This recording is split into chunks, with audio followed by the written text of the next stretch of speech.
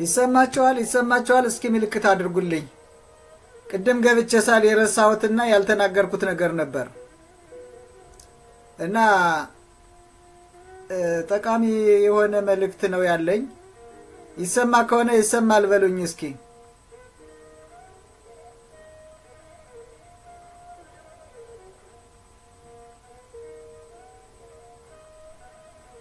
ይሰማል?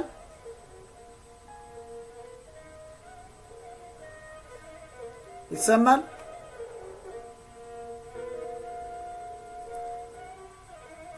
ሰላም ሰላም፣ ይሰማል? ይሰማል? አቢባ ሰላም ብያለሁ።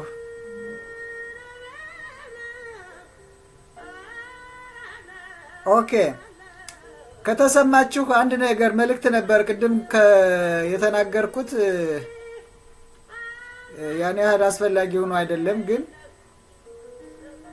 መነሳት አለበት፣ መታሰብ አለበት። ባህላችን ሊጠና ይገባዋል። በስርዓተ ትምህርቱ መካተት አለበት።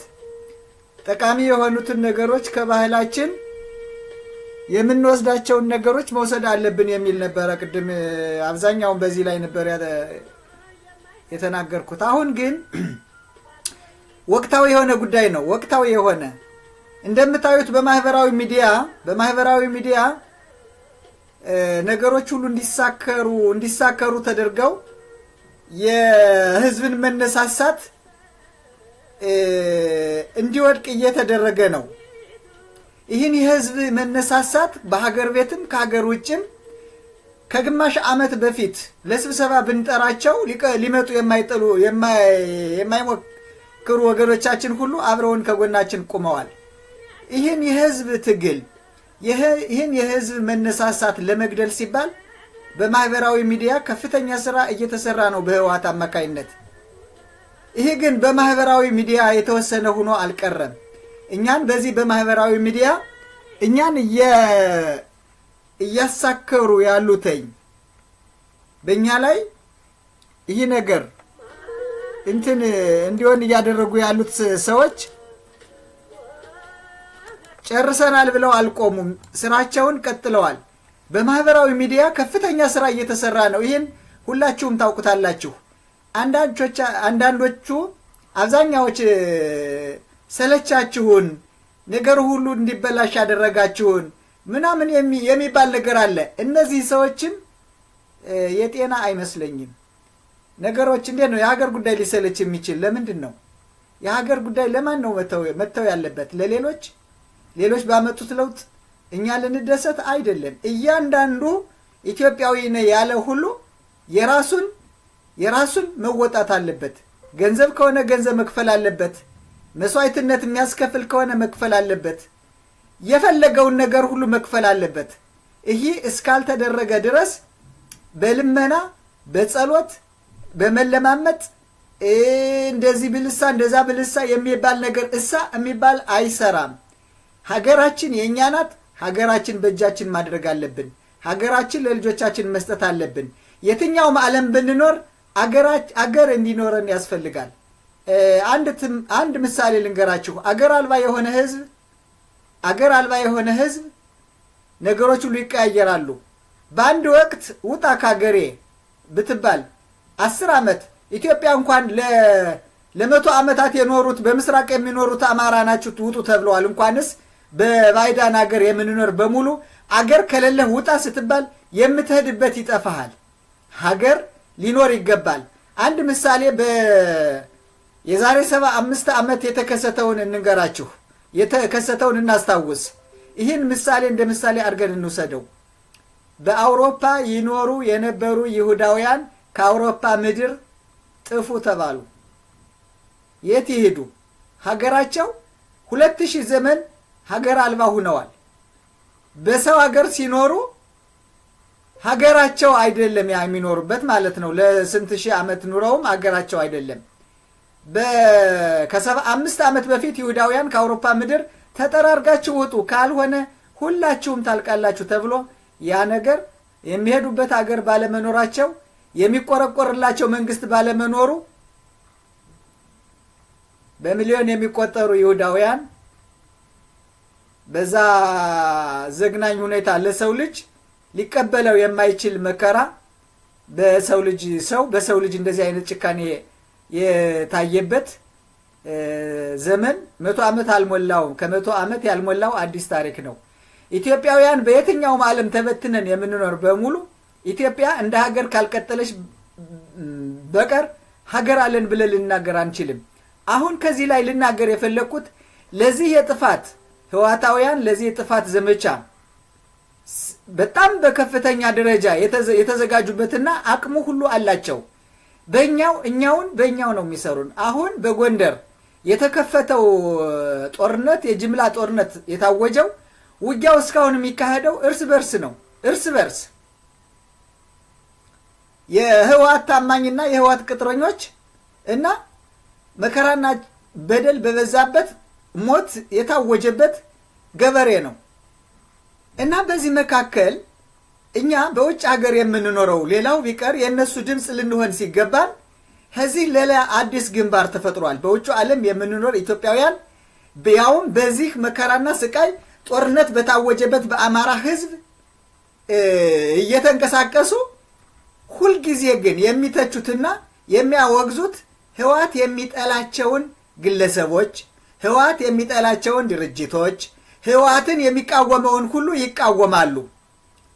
ያለምንም ምክንያት ያለምንም ምክንያት አሁን በውጭ ዓለም የሚኖሩት የአማራ ተጋድሎን በሉት ቤተ አማራን በሉት ይሄ አማራንን እያሉ የሚንቀሳቀሱት በሙሉ የሚጽፉትን በማህበራዊ ሚዲያ የሚናገሩትን አድምጡ።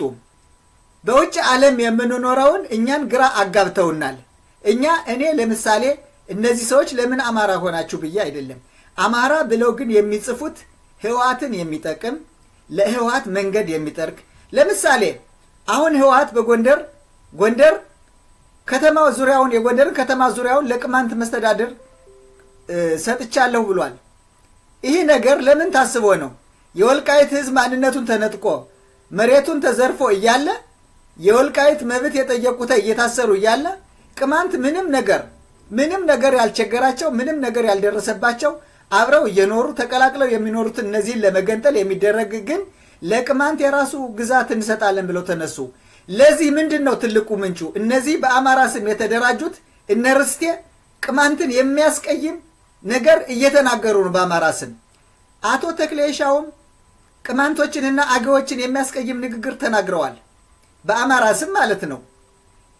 እስካሁን አማሮች፣ ቅማንቶች ወይም አገዎች ከአማራው ልዩ ነን ብለው አያስቡም። እነዚህ የህወሓት ቅጥረኞች የሚናገሩትን አትበሉ። ብዙ ጓደኞች ነበሩኝ። እኔ ለምሳሌ ከሀያ ሀያ ሁለት ከነበር ነው ሁለታችን የአማራ ተወላጅ ስንሆን ከአንድ ላይ እየኖርነ ከአንድ ላይ እየበላነ በአንድ ቦታ በአንድ ቤት እያደርን ሀያ ሁለት ከነበር ሁለት ብቻ አማራ ስንሆን ሀያዎቹ ቅማንቶች ነበሩ። ልዩነት መኖሩን አናውቅ ነበር ተማሪ እያለን።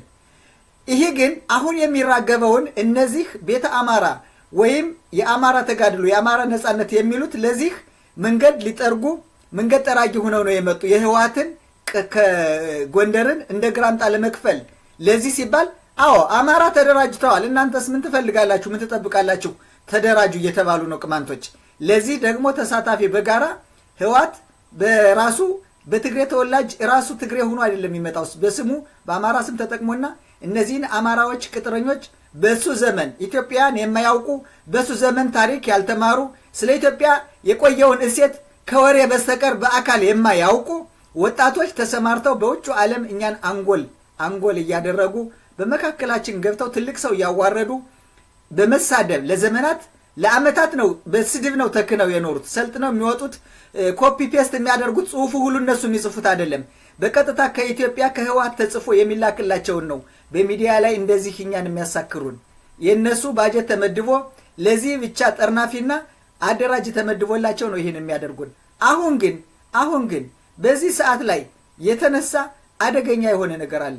ይህ አደገኛ በማህበራዊ ሚዲያ እየቆየ ማንኛው እውነተኛ መሆኑን ማንኛው ሐሰተኛ መሆኑን ፕሮፌሰር ብርሃኑ ነጋ ቢከሰስ የአርበኞች ግንቦት ሰባት እንደ ጉድ ቢጣላ ጥላሸት ቢቀባ የሰው ልጅ ስራው ነውና በስራው ነገ ይታወቃል።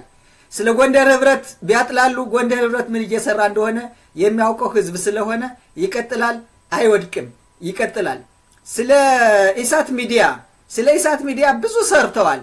ለስድስት ዓመት ነው በኢሳት ሚዲያ ላይ እና በጋዜጠኞቹ ላይ የተሰራ ኢሳት እውነት የያዘው ኢትዮጵያዊነትና ለሁሉም ለሁሉም እንደ ሚዲያ እንደ ቢቢሲ እና እንደ ሲኤንኤን የሚቀጥል ድርጅት ነው።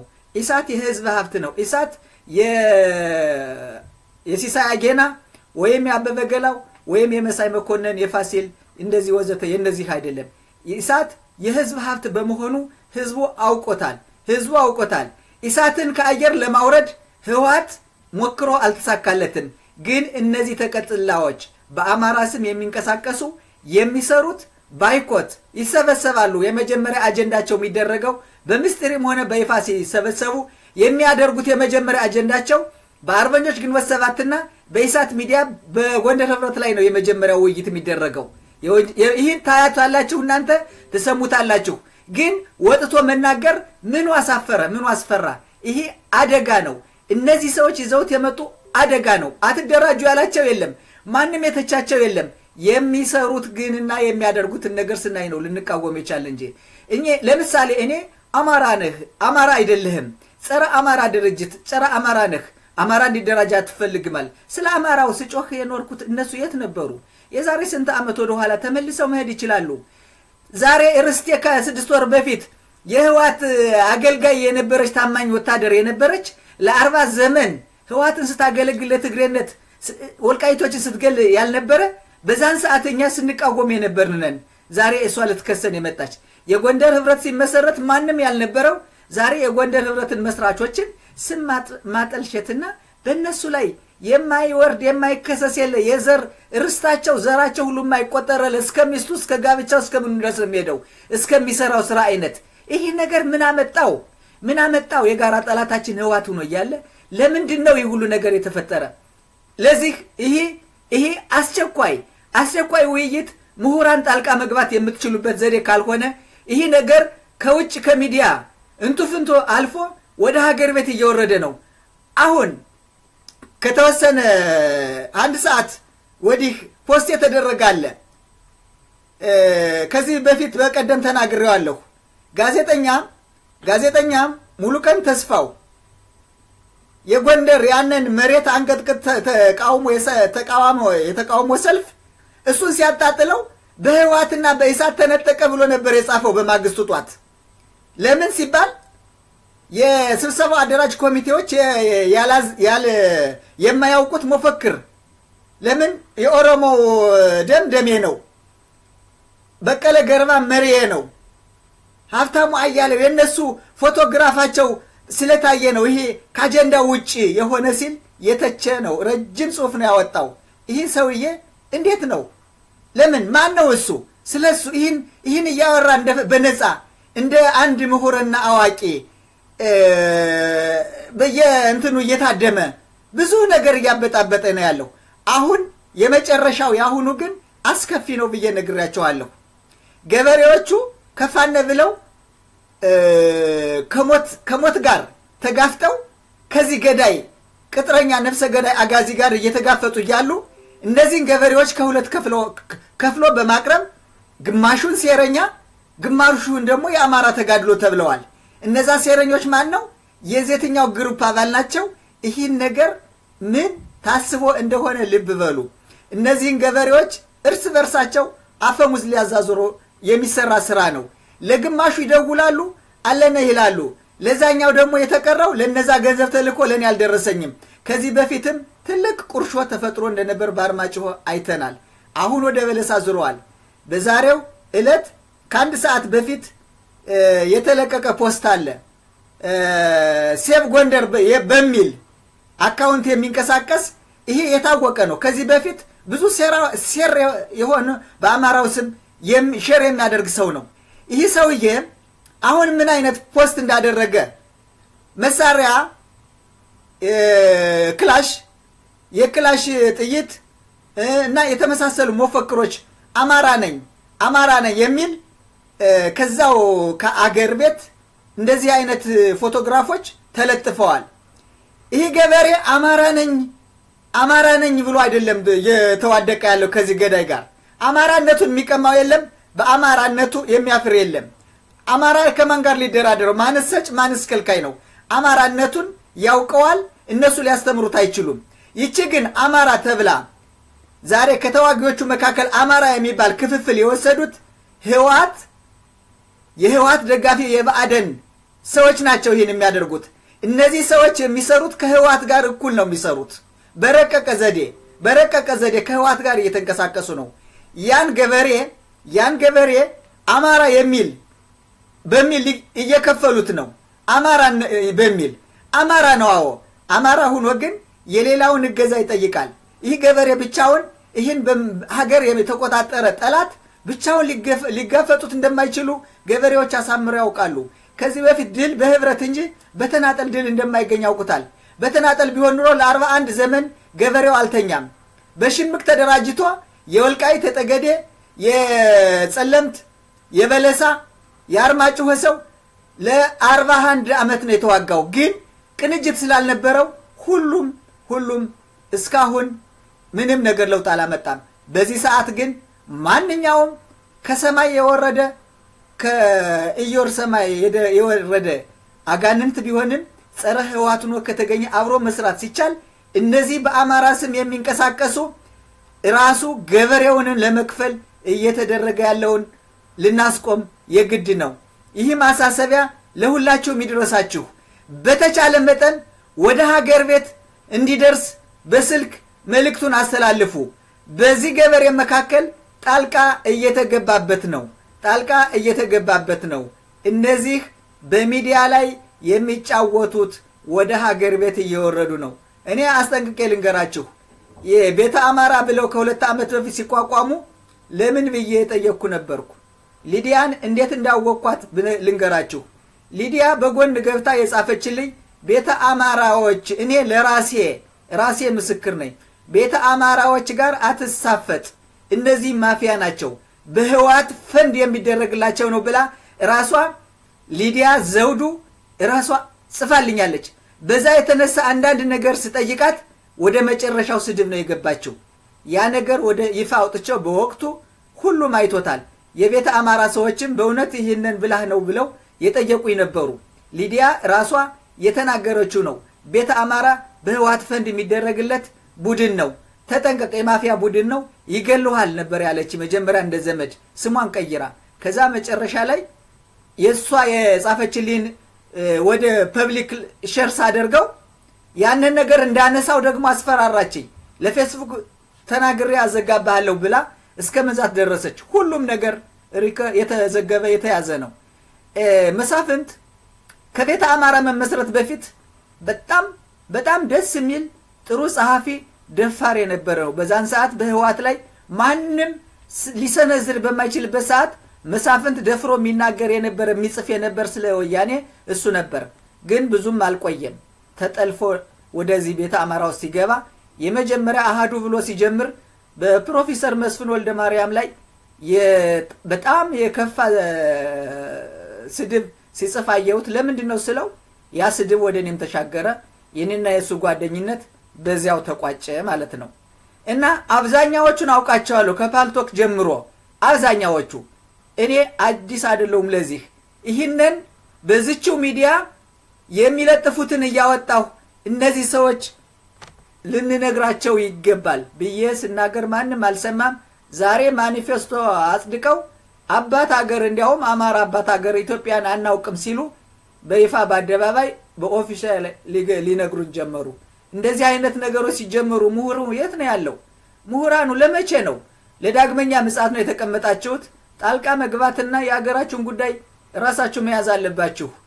ትላንት ታማኝ በየነ ለሀያ አምስት ዓመት ሲናገር የኖረው ነው። ተወባካችሁ ምሁራን ስለ ሀገራችሁ ጣልቃ ግቡ። እናንተ ተቀምጣችሁ እኔ አዝማሪው መናገር የለብኝም እያለ በየአደባባዩ ላንቃው እስኪቆረጥ ጮኋል፣ ታግሏል። አሁንም ይታገላል። የት ናችሁ? የት ናችሁ? የእኛ ምሁራን የት ናችሁ? አሁን ጣልቃ ግቡ። የገበሬውን አመፅ ለማንኮላሸት እነዚህ ሰዎች በሚዲያ ብቻ ተወስነው አልቀሩም። ገበሬው ድረስ እየወረዱ ነው። ማየት ትችላላችሁ። እኔ share አድርጌዋለሁ። የጦር መሳሪያ አማራ እየተባለ በገጠሩ ፎቶ እየተነሳው በሚዲያ ወደ ሚዲያ እየመጣ ነው። ያ ነገር ደግሞ ወደ ገበሬው ይላካል። አማራንን በሉ እየተባሉ ነው። አይታችሁ ከሆነ ባለፈው እነ መልኬ ጎቤን ያስደበደቧቸው ፎቷቸው ኢሳት የነፃነት ብሎ በመዘገቡ ያንን ያንን እንትን ለማድረግ disqualify ለማድረግ ተብሎ ሰዎቻቸውን ልከው ከቦታው ፎቶና ምስላቸውን አሰራጭተው ያ ምስላቸው በተሰራጨ በማግስቱ ነው እነ ሞላ አጃው መሞታቸውን የሰማነው አራት ወጣቶች እና ይህ ነገር አሁን አሁን የተጀመረው ይህ መሳሪያ ፎቶ አንስቶ መላክ ሌላ አይደለም። የብአዴን ሰዎች ናቸው። የብአዴን ሰዎች የህዋት የህዋት ታማኝ የሆኑ የሚሰሩት ነው። እነዚህ በቅንጅት ነው የሚሰሩት። ይህ ነገር ዝምታው ለምንድን ነው እንደ ልጃገረድ እየተልሞሰሞስን አፈ የምን የምን እንትን ነው? መነገር አለበት መቆም አለበት እያንዳንዱ የፌስቡክ የፌስቡክ ጓደኞች ካሏችሁ ይህን ነገር እያንዳንዳችሁ መልስ ንገሯቸው። ስትጠይቋቸው በስድብ ነው የሚቀበሏችሁ ማንነታቸውን ለመለየት። ድብቆች ናቸው። ለምን ወጥተው እንደኔ አይናገሩም? እውነት ከሆነ የያዙት ዓላማ ቀና ከሆነ አማራው እኮ የአማራ ወጣት ፊት ለፊት ነው የሚሞተው እንጂ እንደነሱ ተደብቆ አይደለም ወይም ፊቱን ማስክ ሸፍኖ አይደለም። ውጡና እንያችሁ። Save ጎንደር ማን ነው? ማን ነው የአድዋ ተወላጅ ላለመሆንህ ምን ማሳመኛለህ? Save ጎንደር Save ጎንደር አንተን ይሉ አማራ። አላውቅም አናውቅም አናውቅም በሏቸው።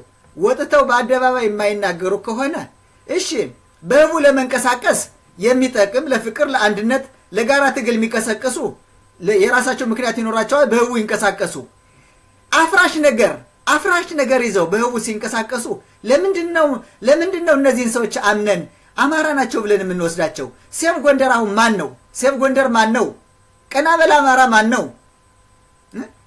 የጎጎለሽ ማናት የዞማነሽ የሸበሉ ነኝ እንደዚህ እያሉ ስለ አማራ ሲያወሯችሁ እንዴት ነው ተቀብላችሁ አሆናችሁ ምትሉ የትግራይ ተወላጅ አለመሆናቸውን በምን ታውቃላችሁ? በምን? የሚጽፍ ሰው ተደብቆ የሚጽፍ ተንኮል ከሆነ ሴር ግንቦት ሰባትን ሲከሱ ተደብቀው ነው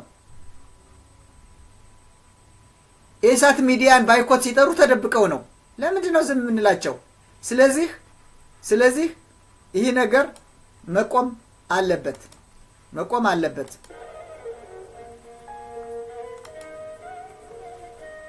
መቆም አለበት።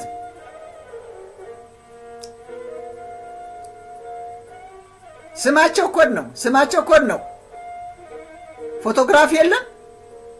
ጾታ እንኳን ጾታ እንኳን እንኳንስ ብሔራቸው ጾታቸውን የምንለይበት ምንም ነገር መረጃ የለም። ግን የሚከሱት ግንቦት ሰባትን የኢሳት ሚዲያን የጎንደር ህብረትን ነው።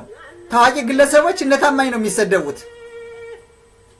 እና የኢሳት ጋዜጠኞች ይህን ነገር መቆም አለበት ልናስቆም ይገባል። አመሰግናለሁ። ይህ ነው መልእክቴ። ወደ ገበሬው እየገቡ እየወረዱ ስለሆነ ይህ ነገር አደገኛነቱን ገበሬዎችን እርስ በርሱ ሊያዳሟቸው ስለሆነ እባካችሁ እባካችሁ መልእክቱን ወደ ሀገር ቤት አስተላልፉ። ማንም ሰው ስልክ ቢደውልላቸው እንዳያነሱ። ከማንም ገንዘብ እንርዳህ እንዲህ እንበልልህ ምናምን የጥይት መግዣ ልንላክልህ የሚባል በሙሉ አይሰራም አይሰራም። ለዚህ ገበሬ ልንረዳው ከተፈለገ ራሱን የቻለ የተዋቀረ ድርጅት ተቋቁሞ በዛ በኩል መድረስ አለበት እንጂ ይህ በተናጠል በየግሩፑና ለተለያዩ ሽፍታዎች በጎን ገንዘብ የሚላክ ነገር ይህ ነገር መቆም አለበት መቆም አለበት። ይህ መከፋፈል ነው። ትግሉን ገዳይ ነው። የመጣ መከራ አይመለስም። ከእንግዲህ መከራው መጥቷል። በጎንደር ላይ የተነሳው የጥፋት የጥፋት አዋጅ እንዲሁ ተሞሻምሾ የሚቀር አይደለም እሉንታን አያውቁም እነዚህ ሰዎች። እነዚህ አማራን ማጥፋት የጎንደር መሬት ይፈለጋል። ግን ጎንደር እስከነ ህዝቡ አይደለም የሚፈልጉት ሰውን ገለው ነው። ይህ ጦርነት ያወጁት እነሱ ናቸው። የጎንደር ገበሬ ራሱ ምንም አልፈለገም። እነሱ ናቸው ያወጁበት ትጥቅህን ፍታ ብለው። እና ይህን ትግል ሁለንተናዊ ዘመቻ እያካሄዱበት ያለው ምን በመጀመሪያ መምታት እንዳለበት ማን መመታት እንዳለበት ምን መደረግ እንዳለበት ዝም ብሎ ከሐምሌ አምስት ጀምሮ እስካሁን ዝም ብሎ የተቀመጡ አይደለም ብዙ ስራ ወያኔ እየሰራ ነው እንዴት ማህበራዊ ሚዲያችን እንዳበላሹብን ታውቃላችሁ ይህን ነገር ማስተካከል የእኛ መሆን አለበት። ዘወር በልበሉት። ራሱን ደብቆ ራሱን ደብቆ ጓደኝነት የሚጠይቅህን በሙሉ ዘወር በልበለው። ማነህ አንተ በሉት። እውነት ሀገራችሁን የምትወዱ ከሆነ እውነት ለዚህ መከራና ስቃዩ ለበዛ ህዝብ የምታስቡ ከሆነ ይህን የጠባብ የጠባብ የጎሳ በጎሳ ማሰቡን የቀደሙት አባቶቻችን ጎሳቸውን አስበው አይደለም የተዋጉት። አጼ ቴዎድሮስ ጎንደር መቅደላ ላይ ራሱን የጣለው ለአማራነቱ ወይም ለጎንደሬነቱ አልነበረም። መላ ህይወቱን የደከመ ለአንዲት ኢትዮጵያ አንዲት ታላቅ ሀገር ኢትዮጵያ አልሞ ነው እንጂ እንደዚህ አሁን እንደሚሉት አባት ሀገር አማራ ለመመስረት አይደለም። እና መልእክቴ ይሄው ነው። አመሰግናለሁ። ባገኛችሁት አጋጣሚ ሁሉ ለኢትዮጵያ ለሚኖሩት ህዝቦች መልእክት አስተላልፉ። ከውጭ ሀገር ወደ ሀገር ቤት የሚመጡ ስልኮችን በሙሉ እንዳይቀበሉ። ገንዘብ እንልክልሃለን፣ እኔ እንደዚህ ነኝ፣ እኔ የአማራው ብቸኛ እንትን ነኝ፣ የአማራ ተጋድሎ ነኝ፣ የምንድን ነኝ የሚሉ ከሀገር ቤት ካሉት ሰዎች ካልሆነ በቀር ከውጭ ሀገር የሚመጣ ምንም ነገር እንዳይቀበሉ በዚህ አጋጣሚ መልእክቱን አስተላልፉልኝ። ተባበሩኝ። አመሰግናለሁ።